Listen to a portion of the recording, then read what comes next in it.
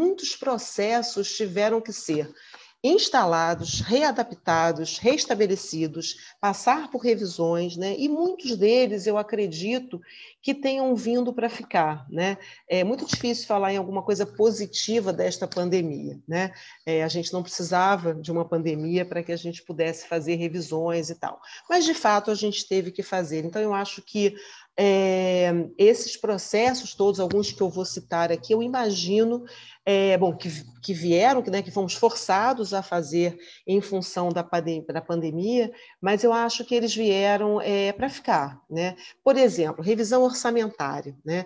os gestores das ILPI, eles tiveram, todos nós tivemos que repensar o orçamento de uma maneira assim radical, né? Por exemplo, para aquisição de itens que eram rotineiros na nossa vida e que de repente passaram a ser problema, luva, né? Todo todo gestor de ILPI sabe o que eu estou falando, né? A gente sempre comprou luva e a gente se viu, por exemplo, na crise da luva, que aumentou demais do preço, os preços, é, é, começou a ter escassez outros materiais, outros EPI que a gente nunca usou, a máscara, por exemplo, era pontual, né? A gente tem que usar uma máscara. A gente passou a comprar máscaras que não existiam né, no mercado, porque houve uma escassez absurda, com preços terríveis. Quais máscaras, né? Nomes que a gente nunca tinha visto, né? É, a gente foi da máscara de pano a N95. Então, assim, foi uma novidade. Outros itens que a gente não tinha para comprar porque não eram produzidos, as viseiras, as face shields, né? É, então, assim, a gente precisou estabelecer novas parcerias, novos fornecedores, negociar preço, comprar com preços altíssimos. Então, essa ideia da revisão orçamentária, portanto, uma revisão na administração, na gestão, a gente teve que fazer. Né?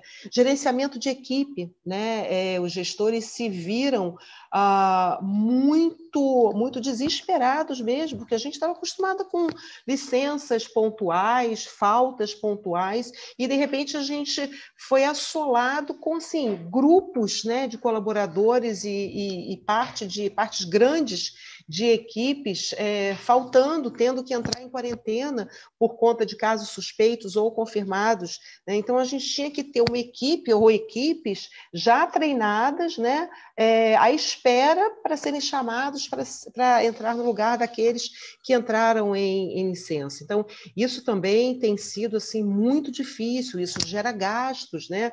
É, gera o tempo ficou escasso para que a gente conseguisse é, né, tantas frentes de ação, revisão dos procedimentos, processos e POPs, por exemplo, né? Ah, os POPs de limpeza, higienização é, de todos os ambientes, o, o pessoal da higienização, que já é ah, uma, um grupo né, dentro da equipe da ILPI, absolutamente fundamental para a ILPI, eles tiveram um lugar ainda de maior visibilidade de outros treinamentos, né? A gente passou a usar produtos que a gente não conhecia, ah, os produtos que a gente conhecia passaram a ser usados de outras formas, com mais intensidade, com outras, ah, com outros usos, enfim foi é, uma revisão total também do ponto de vista é, da questão da higienização e muito. As boas práticas de enfermagem, né, de higienização, tiveram que ser adaptadas, como já falei. Os processos de chegada, de permanência, de vida lá fora da instituição para todos os colaboradores, né, para todos os cuidadores. E aqui é, eu faço essa observação que eu acho que é assim, bastante importante, né? a ideia ampla de cuidador. Né? Dentro de uma LPI, somos todos cuidadores. Eu costumo dizer, se você dá bom dia para um idoso usuário, você é cuidador. Né? Então, todas as multiprofissões que a gente tem dentro de uma ILPI são cuidadores. Né?